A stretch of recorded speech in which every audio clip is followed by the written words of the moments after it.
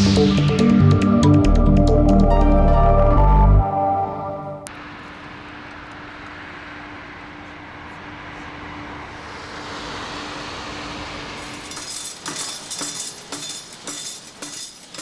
Hager Company produces electrical components.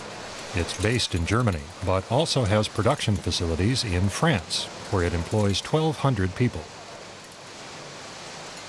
Jean-Luc Fuentes has been with the company for more than 20 years. Workers on both sides of the border are worried about their future.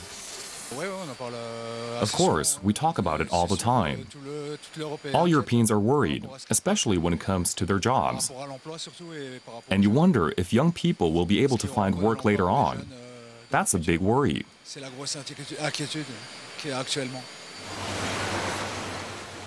Questions about the differences between Germans and French only annoy the workers. Here in the border region, that sort of thing is irrelevant. We profit from the Germans, and they profit from us, from our technology, for example. Eighty percent of what Hager produces for export stays on the European continent. Annual sales total around one and a half billion euros. Several trucks a day come from France to the German plant to pick up new components. Thierry Uck has worked for Hager for decades. He even shuttled between German and French facilities for the company's founder. When I drive over to the German side, I see that there are no longer any differences from the French part of the company. Of course, the German side's a bit more perfectionist in their work, but otherwise, there aren't that many differences anymore. Although the working times aren't the same. They quit earlier in Germany.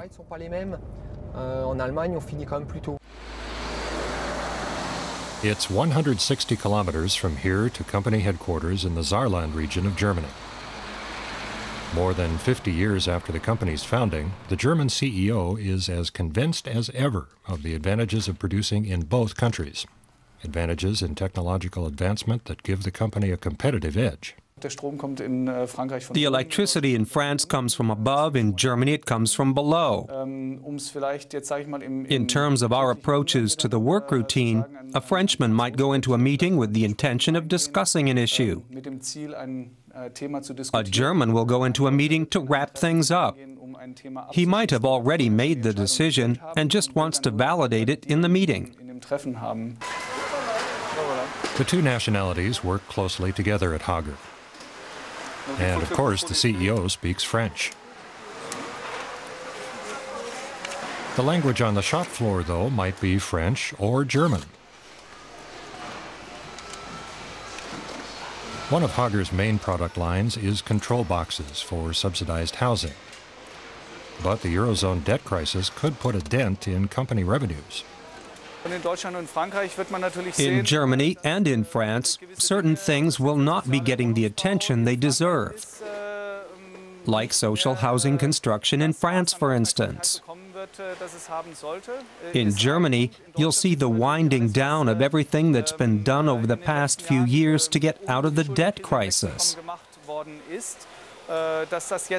And repairs to schools and public buildings is another business that will dry up.